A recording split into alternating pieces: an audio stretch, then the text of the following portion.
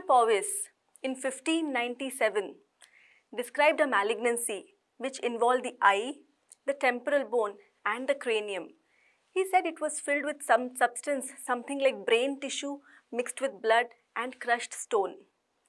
Later on, in the 18th century, Hayes described a similar tumor in a child who presented with cat's eye in the dark. Later on, in the 19th century, the same tumor was named as fungoides hematoides because it was highly vascular and had a fungating growth pattern.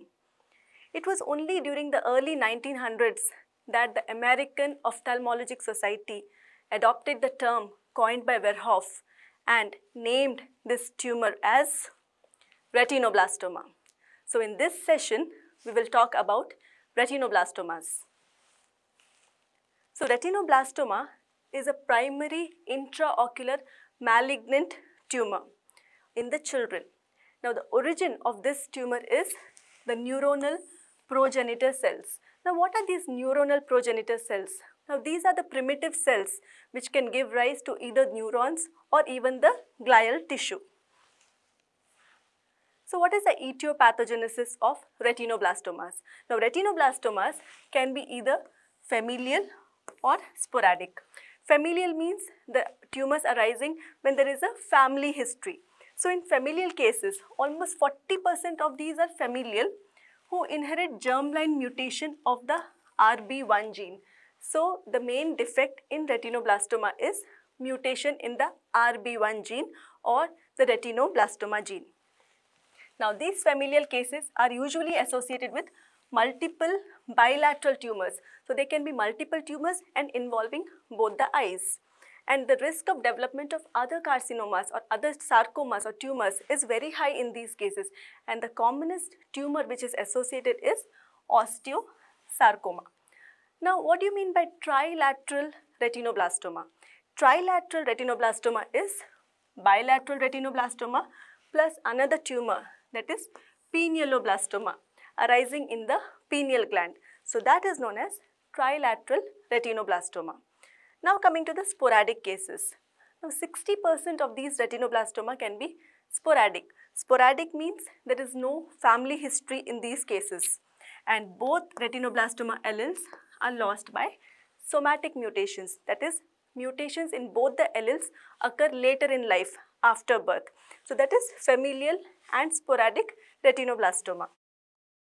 So now coming to the Knudson's two-hit hypothesis.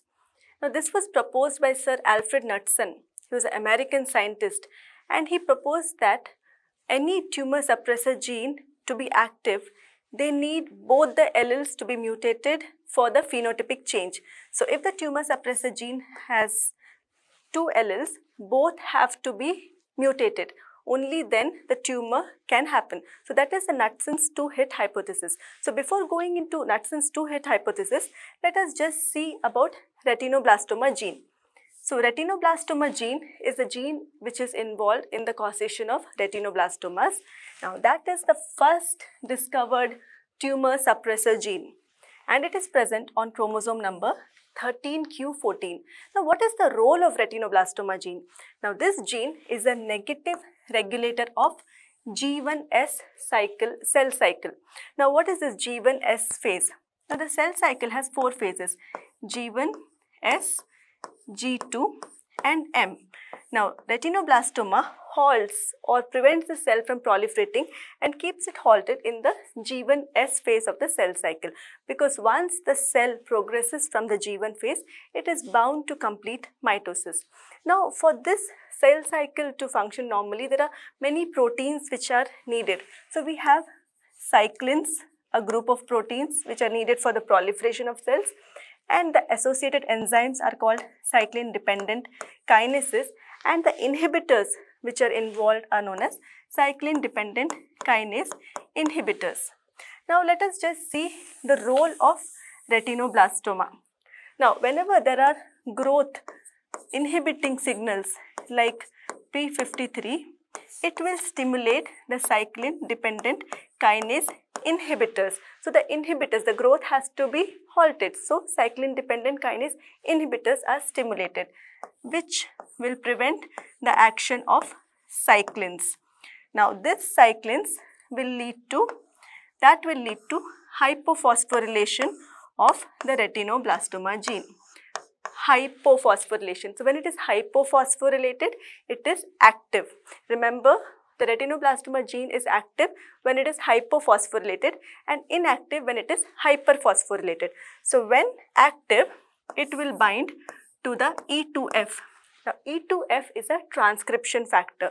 So when it binds to E2F, this E2F is not freely available for transcription. Hence, there is no transcription and no cell growth or cell proliferation. At the same time, when there are growth promoting signals like platelet derived growth factor or any other growth factors, in such cases the cyclins are activated and the retinoblastoma is the gene is hyperphosphorylated. This is the hyperphosphorylated form of retinoblastoma. So in this form it fails to bind to the E2F that is the transcription factor. Hence, this E2F is freely available for transcription and transcription goes on. So, that is the role of the retinoblastoma gene. Now, let us go back to the Knudson's two-hit hypothesis, the pathogenesis of retinoblastoma. So, now in sporadic form, as we know, there is no mutation at birth both the alleles of the gene are normal. So as we see here, the somatic cells of the parents, the germ cells and the zygote, both the alleles are completely normal and these are the somatic cells of the child. Later on sometime in life, the first hit, this is the first hit which occurs in one of the alleles. Then later on, for the malignancy to develop, remember both the alleles have to be mutated. So we have to have a second hit. So that is the second hit. Hence the development of tumor or retinoblastoma. So that is how sporadic form continues. So now coming to the familial form. So in familial form as we see here, one gene is already mutated. So mutant RB gene is already present in the progeny at the birth. Then later on sometime in life, so this becomes the first hit. Then later on sometime in life, we have the second hit and the development of tumor or retinoblastoma. So one thing we should clearly remember is, as we see here, familial forms, the tumor express themselves very early or the tumors manifest very early in age and that's a sporadic form which takes a little longer time for manifestation. So this is the Knudson's two-hit hypothesis for retinoblastomas. Now coming to the clinical features. Now how do these patients present to you with? The main, the median age is 2 years. So remember most of the patients are children. It presents in children. It is a tumor of childhood. The patients may present with poor vision or strabismus. That means they are not able to see in one direction. The, both the eyes do not see in one direction at the same time. There can be pain and tenderness of the affected eye. Sometimes the patients may present with proptosis, that is bulging of the eyeball. It can be unifocal, that is one one tumor may be there or multifocal, multi, multiple tumors can be there within the eyeball, unilateral or bilateral and one very important finding is the cat's eye reflex that is whitish hue in the pupil. It just resembles how a cat looks at you in the dark. The whitish hue you see in the cat's eye, that is a very characteristic feature in retinoblastoma and that is also known as leukocoria. So these are the clinical features of retinoblastoma. So that is how, that is the characteristic cat's eye reflex or leukocoria.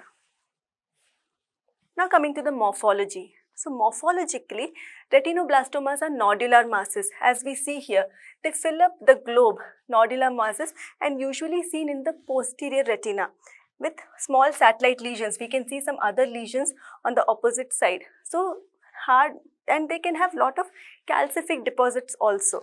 So that is the morphology of retinoblastomas. Now coming to the microscopy. So microscopically, they have undifferentiated elements and differentiated elements. So what do you mean by this undifferentiated and differentiated elements? Now undifferentiated means the cells do not resemble anything.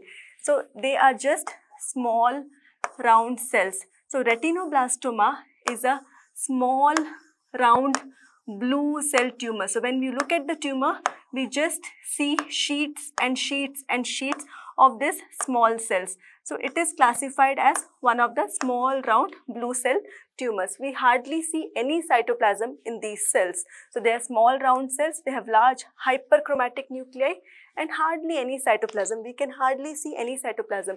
So it is just bluish appearance when you look at the microscopy. So that element is known as the undifferentiated component of retinoblastoma.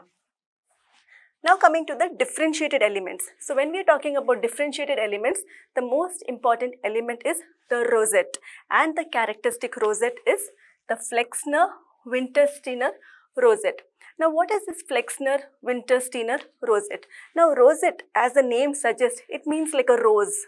So we have cells which are arranged something like a rose in a flower shaped manner, something like that and they have nucleus which is placed centrally or basally and in a flexner Wintersteiner rosette the cytoplasmic processes extend inwards.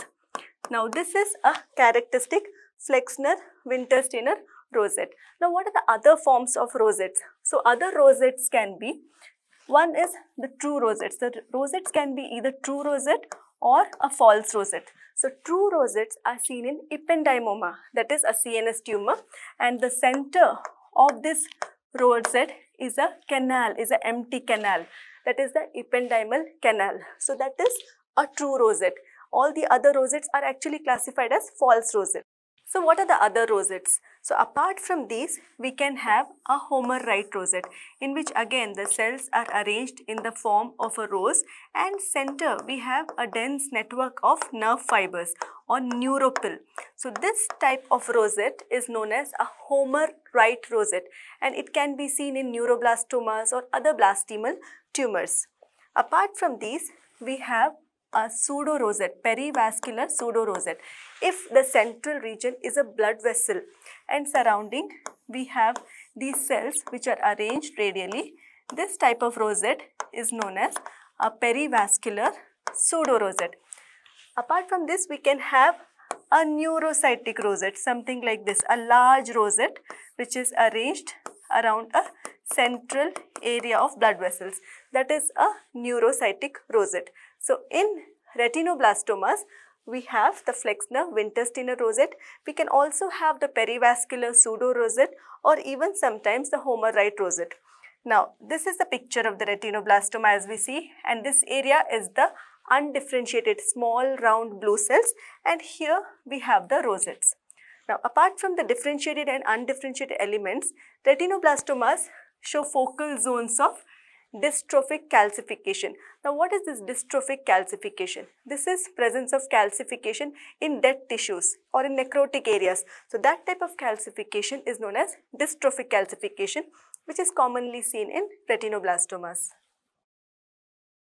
So, coming to the spread and prognosis. So, it can spread to the optic nerve or to the subarachnoidal space and distant metastasis can occur to the brain, to the skull, bones or sometimes rarely even to the lymph nodes.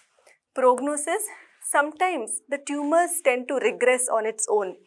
But if it is untreated, it is fatal and spread to the optic nerve or the subarachnoid space is said to have a bad prognosis.